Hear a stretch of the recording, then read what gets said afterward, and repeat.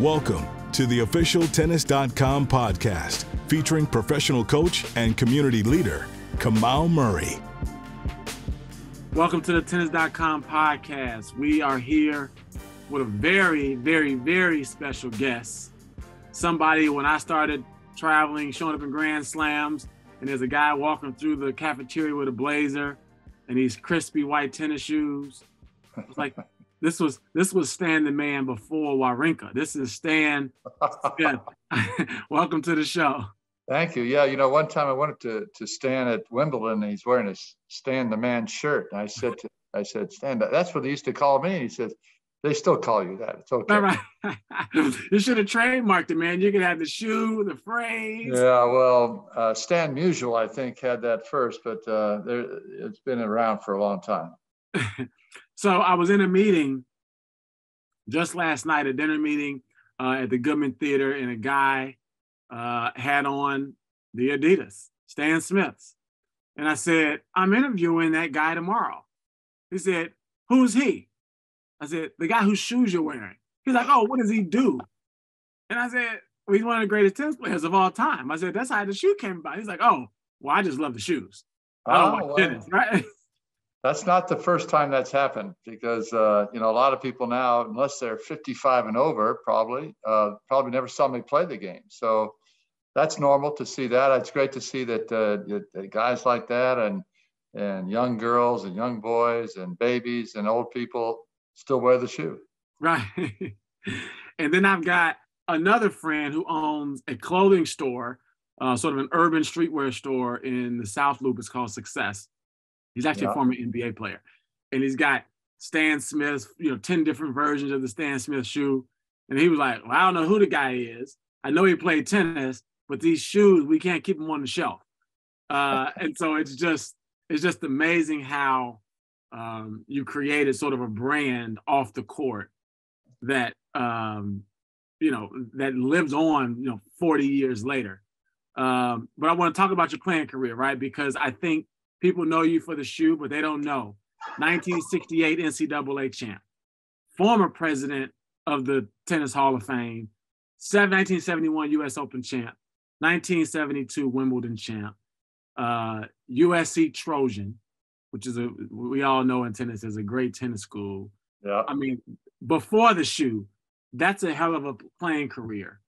But how did you get your start in SoCal? Because, you know, when I think about all these tennis pros, you know, we all had a lot of people help, and I know you had the, the San Diego tennis patrons help you as well. How did you get into tennis?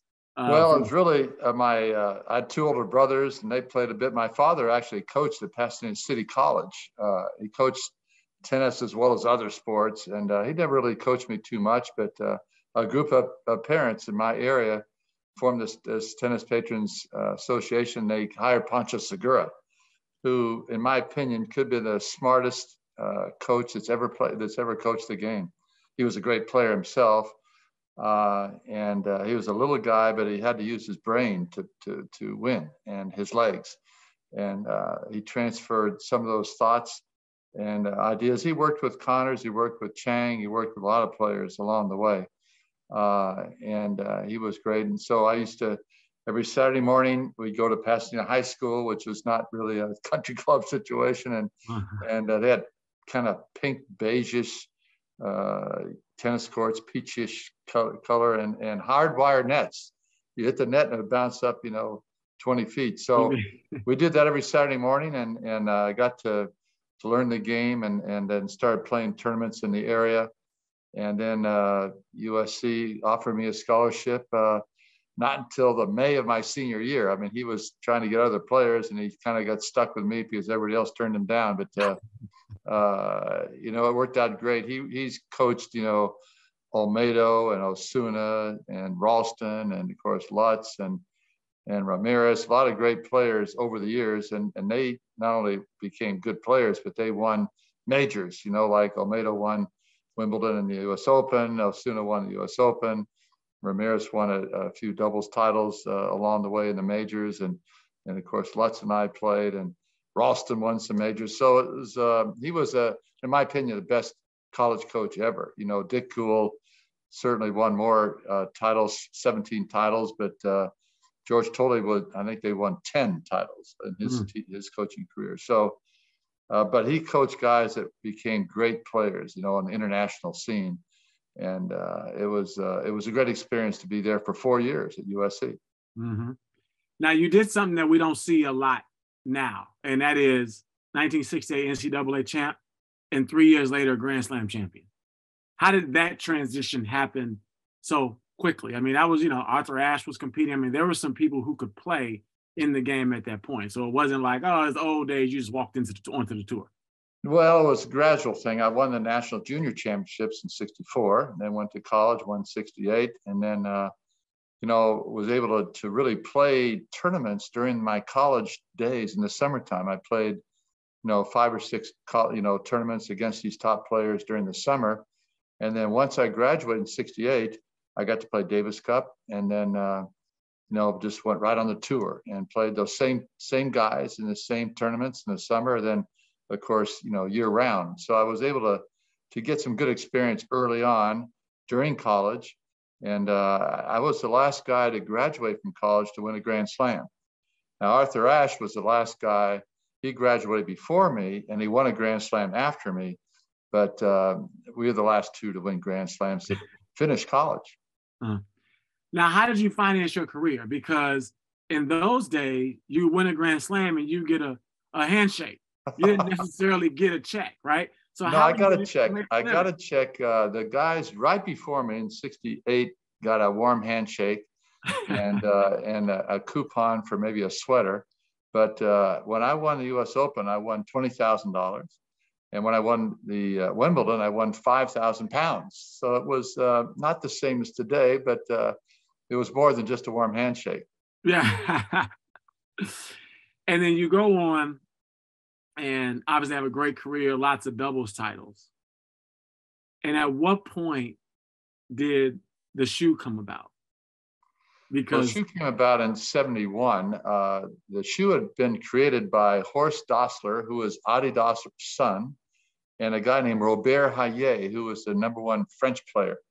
And the shoe was created in France uh, in a place called Landersheim, which is in the border of France and Germany and Austria. And so uh, they wanted to get a stronger presence in the United States. And I was American player, number one in the world at the time. And and uh, so we worked out an agreement. They were looking for a great looking guy to put on the, on the, on the tongue of the shoe, a great face.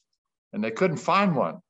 So they they they got me. And uh, so they they put my face on the tongue. They had Robert's name on the side and had several several iterations of the names of both names and that sort of thing. And finally, after about four years, they took his name off the shoe, and it was just my name after that. And then they took the shoe off the market in 2012 and 13, uh, and we in the meeting in 2011 when they they alerted me to that, uh, I wasn't too happy, but uh, they came back with a vengeance in January 15th of 2014, and uh, it, it it went crazy after that. They did a lot of things with collaborations with uh, hip hop, you know, artists and that sort of thing, and and uh, people that I didn't really know very well at the time, uh, but uh, they the kids knew them, and so they really marketed to kids from 18 to 24, which I thought was a mistake because I thought those kids would know who I was. But uh, again, they had collaborations with people that the kids did know, uh. Pharrell Williams and uh, Stella McCartney and and people like Kate Moss, different people like that. Now, you know you've made it when Jay Z says your name. Yeah. In a song. I mean, every NBA player, LeBron, Dwyane Wade, they always talk about the highlight of their career. They knew they were like making it when they heard their name in a rap song. So when you heard your name in one of Jay Z's songs, what did you think? Well, I heard about it. My daughter, who was about 13 or 14 at the time, came home and said, Dad, you're famous. I said, What do you mean? I said, Well, Jay Z has you in one of his songs. And I said, Well, that's great. You know, who's Jay Z? I did find out about him a little bit more. He, he was I was in a few of his songs, but uh, it was uh, it was funny to see. Uh, I'm just here in my Stan Smith whites, uh, just chilling and uh, that sort of thing. So it was uh, it was kind of fun to see that. Well, you know what's funny is that that is what I think tennis needs more of. is branching out and having other people, personalities push into the sport yeah. to sort of help grow it, right? Because we talk about prize money in 1971, 1972 being $20,000. But I mean, we look now where NBA players are making $35 million a year, right? And the only person, only tennis player I know that did that was Naomi Osaka. And that was off the court. You know what I mean? Nobody's making well, that on the court. Yeah, Federer is well. Federer is making Federer. that off the court too, but uh, and so is probably Nadal and Djokovic. But uh, on the court, you're right. They're making 10 to 15 million, which is uh, doing okay. But uh, you know, it, the, the off-court stuff has been uh, has been exciting, and and we're seeing more and more of the of the players getting like Osaka and, and uh, others that are that have made a name for themselves. Certainly, Serena and Venus have done pretty well off the court. Oh, I mean, they've like, you know, the list of names you you say are some of the ones that have transcended the sport. Yeah. Um, and uh, popularity and branding, et cetera. Um, but I think you know your shoe brought it brings people to tennis um, and makes them think about tennis all day.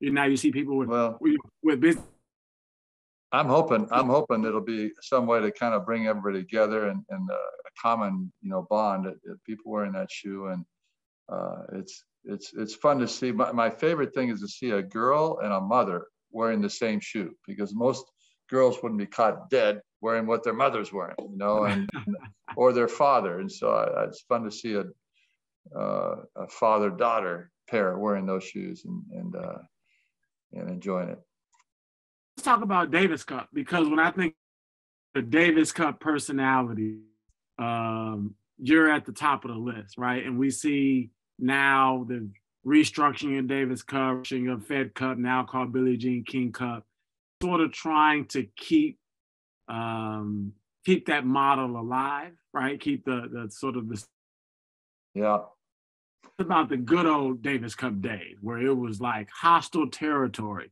yeah, yeah, it was. Uh, it, you took your life into your own hands when you went to a place like Romania or, or Colombia, and, and uh, they were they were uh, rabid fans that were supporting their team, which was fine, and and it was it was one of the most uh, difficult things that we played in Spain, where we had uh, people flashing the, the mirror in my eyes as as I was serving. We went to Chile, where we had a death threat on Dennis Ralston's life.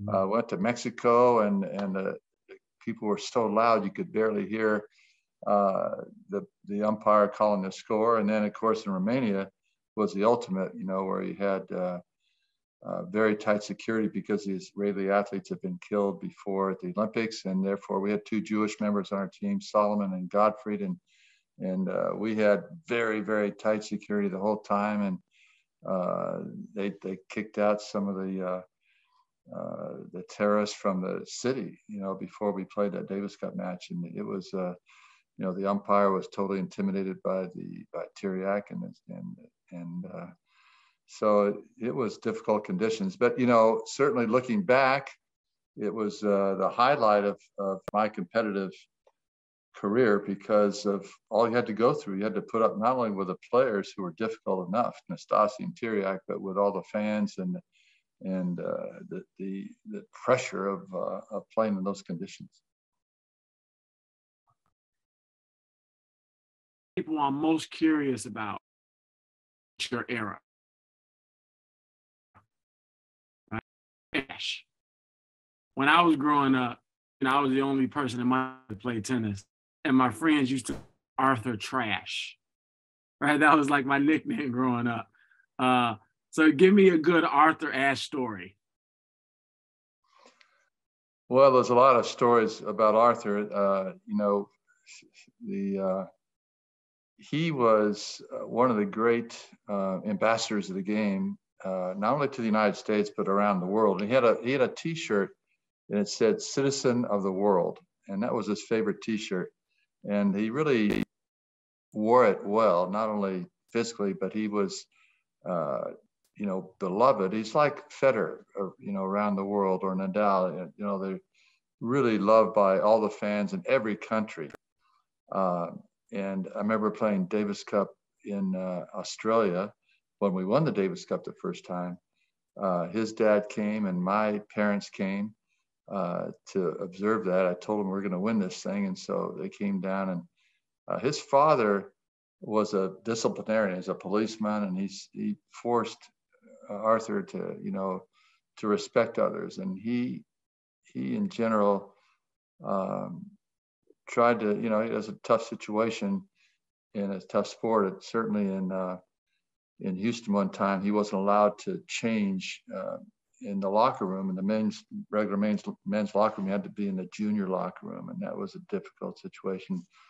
We uh, we went to Africa together, and uh, Frank Deford, Bud Collins, and um, Richard Evans were the two reporters, three reporters that came with us, and they traveled the six countries we went to, and and so we would play a match. At that time, I was actually ranked number one in the world and number one in the United States, and uh, they would introduce Arthur as uh, Arthur Ashe, the, uh, the, the number one player in the United States, the number one player in the world, the greatest player uh, in the world who has ever played the game, and his opponent Stan Smith.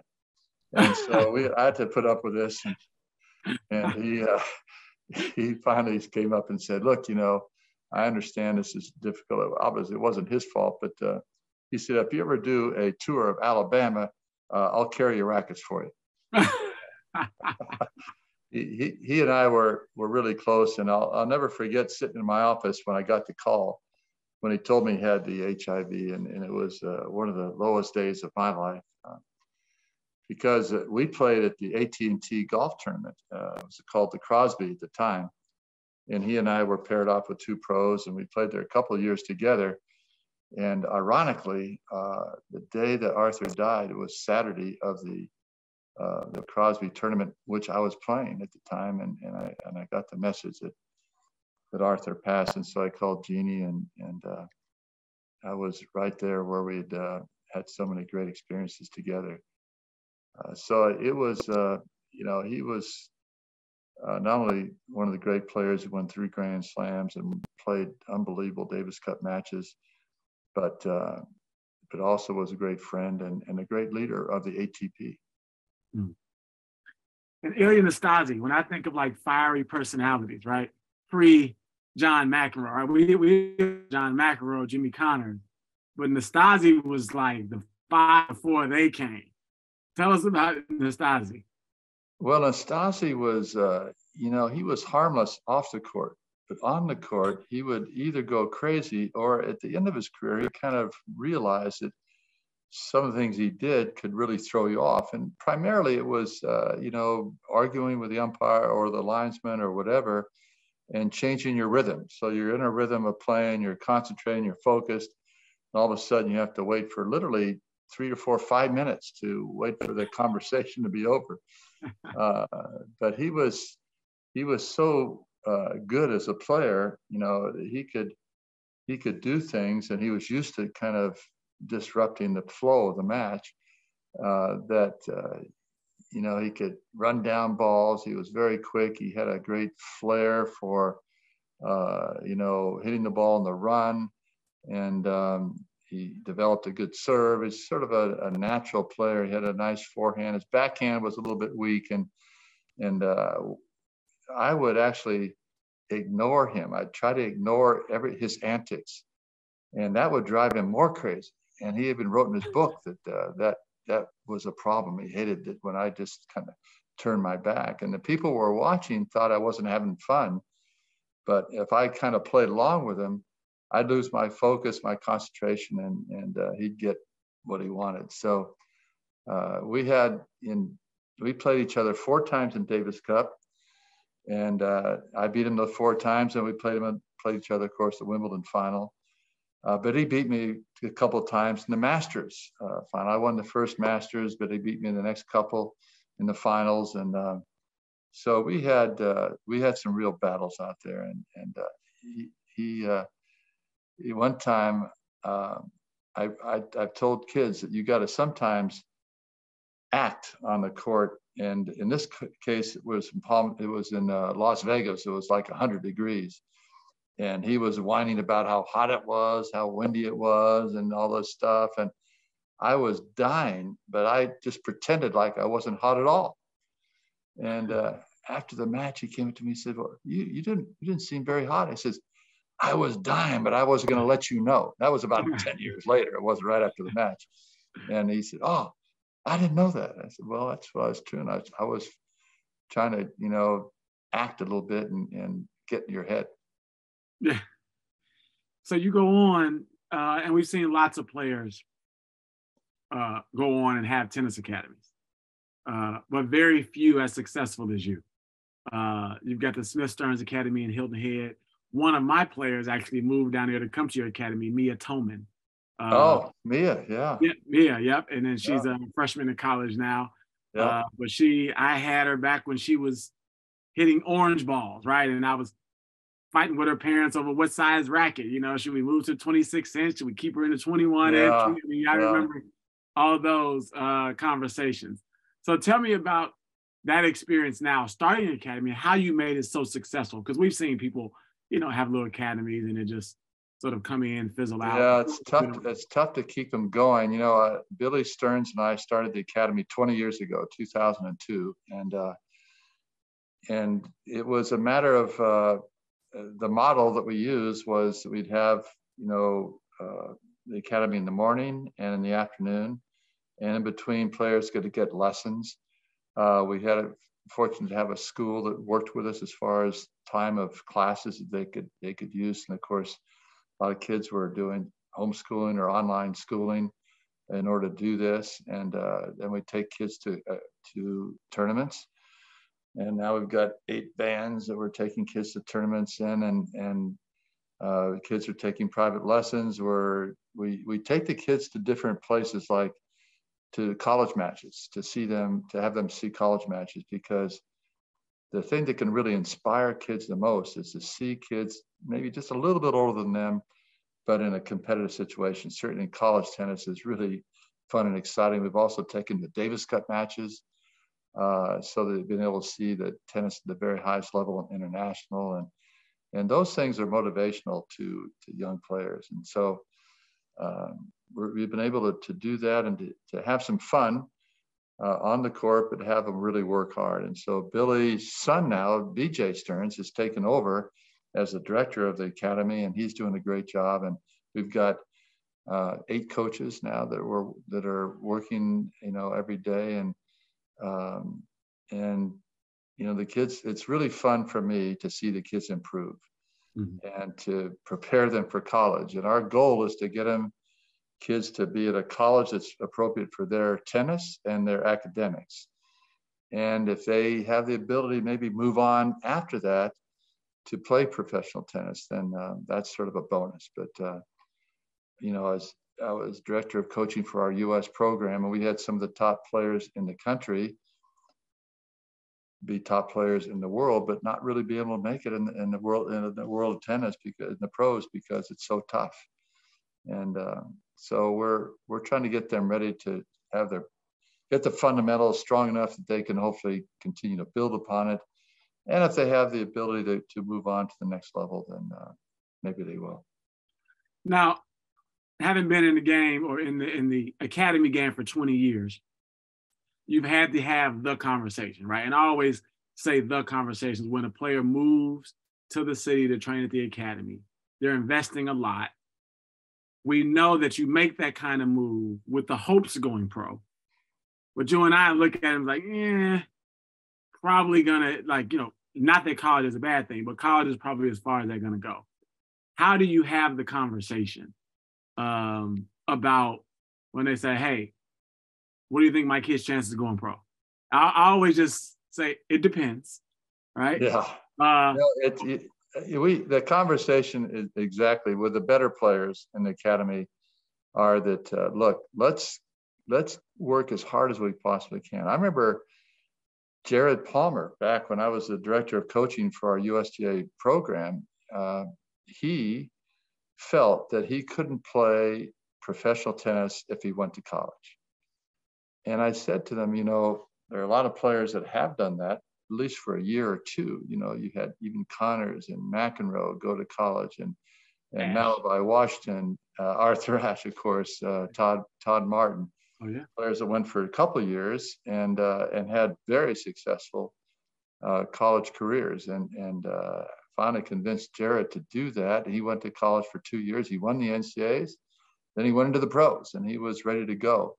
So um, I've been an advocate for college tennis, and we're seeing that today. We're seeing, uh, you know, the guy who I think is going to be maybe the next great tennis player is Ben Shelton, and, uh, and, I saw him play for the first time in the Australian just last week uh, in a couple of matches. I hadn't really studied him too much, but this guy has got uh, a huge serve, a great, great forehand, very good backhand, moves pretty well, mm-hmm. um, and competes well. And and he he's gone to college for a couple of years, and he's even going to go to college as he's playing pro tennis to to study, but not playing the team. But so I think we're seeing some players that have gone to college that have made that, uh, you know, for a year or two and have made the transition into pros and, and have done great. And uh, I think that, that Ben's going to do that. Uh, but we also have some great young players now that are, it was great to at the, at the Australian see eight American males in the round of 32, 25%. That hasn't happened since uh, you know, the area of Agassi, Sampras, Courier, Chang, Martin, MaliVai, all these guys that have been good pro players and have done well in the, in the slams, but we haven't seen that since then. So I'm very excited about it. You know, Ben, of course, Korda, Fritz, Tiafoe, uh, Brooksby. I mean, there's a lot of players that fall. It's the yeah. semifinals. It's uh, it's really exciting. But in our academy, we want to, you know, give the, the parents and the players a little dose of reality that all they can do is work as hard as they possibly can and give it their best shot. And if they are if they're capable of doing the next level, then it'll come about. Now, I always talk about college tennis. Uh, me and Tommy always joke about this. He wanted to go to North Carolina and they wouldn't offer him a full scholarship. Uh, this is Tommy Paul. Oh, yeah. Yeah. That was his dream school. They wouldn't give him a scholarship. Wouldn't give him a scholarship. Give well, a scholarship. my coach was not too excited about giving me a scholarship either. So some coaches, uh, you know, take a while to learn. Yeah, that's the mess. So you got a book coming out uh, and a documentary. Give us a little, for, for those who like the Cliff Notes version, give us a little look inside the book. You know, I got I'm a man when I got a kid in college, two kids that are six and seven. So I'm just gonna take me some time to hide in the bathroom and make it through the book. Give me some stories that I that I can skip to to kind of entertain myself in one of my little 10 minute bathroom breaks. well, the, the book is a is a coffee table book. It's one of those things that uh, that there's stories that are about two pages long. Okay. And there's stories about my career and there's stories about the shoe. And so I wanted to, to to get this book done so that it would before some people who had been involved in the shoe died or involved in my career and so we've had uh, you know short stories from uh, from players and from designers and from uh, you know advocates uh, from friends of mine uh, you know unfortunately you know we arthur's not in the book but but arthur's wife jeannie is in the book and she's a good friend of ours as well so well, just it's it's one of those things you can look at for 10 minutes or 15 minutes and then put it down and come back. It's got photographs of probably 100 different uh, colors and types of shoes that you can see. And it really goes through the history of the shoe and, and as well as the history of the highlights of my career. So it, if you don't like the book, you can get it and you can use, you can do curls with it. It's five pounds. so it's very heavy. And, uh, and because of the book, uh, LeBron James has a uh, production company called Spring Hill, and they looked at the book and they said, we want to do a documentary. So we did the documentary this last year and had a great um, director out of LA that, uh, that, uh, that did it. And uh, we're excited about it. And they're looking now at, at finding a home for it and getting on TV.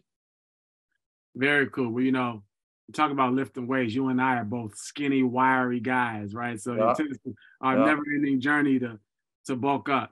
Uh, now I always have to ask the question: Stan Smiths are known as a casual shoe.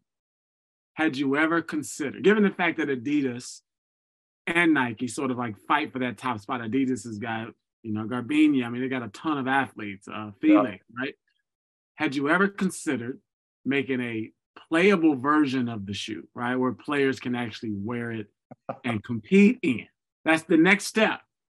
Well, you know, the, the fashion world and, and the and the uh, demographics there are a lot bigger than a group of tennis players. And so uh, it, it has become a, a, fashion shoe. Now, having said that, they did the uh, Zero, which is uh, kind of commemoration of uh, my 50th anniversary with Adidas.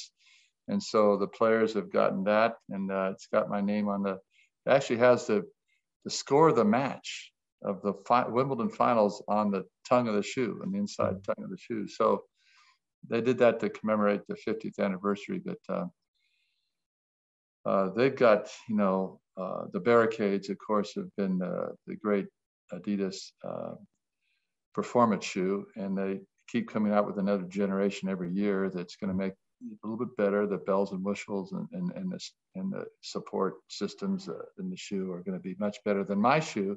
My shoe hasn't really changed in over 50 years and mm uh, so it it has been it's become a shoe that people like to wear you know just uh, chilling out and and uh, and it's really been fun to see people wear it where they're not being paid to endorse it. I mean you see you know the president of the united states obama you know and you see trump's wife. It's it's uh it's it's fun to see people wearing it because they like it and not because they're you know they're being paid, paid to play it right? Yeah.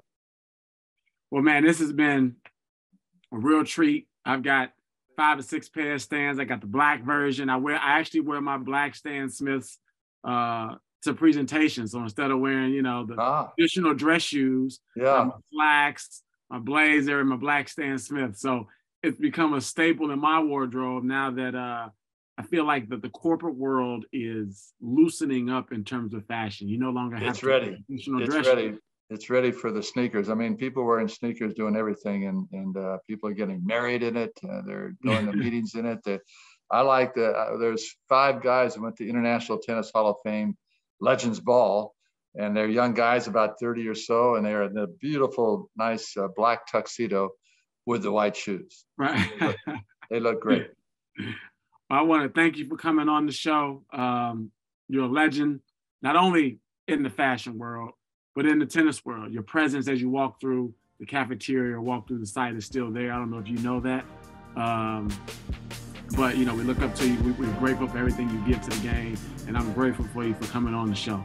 So well, you. you. keep giving up to the game what you're doing, and, and uh, appreciate that as well. We'll get a few more champions out there, you know, yes. like Sloane and and uh, Mia and those people. So keep it going. thank you so much. This has been the Tennis.com podcast with Stan Smith.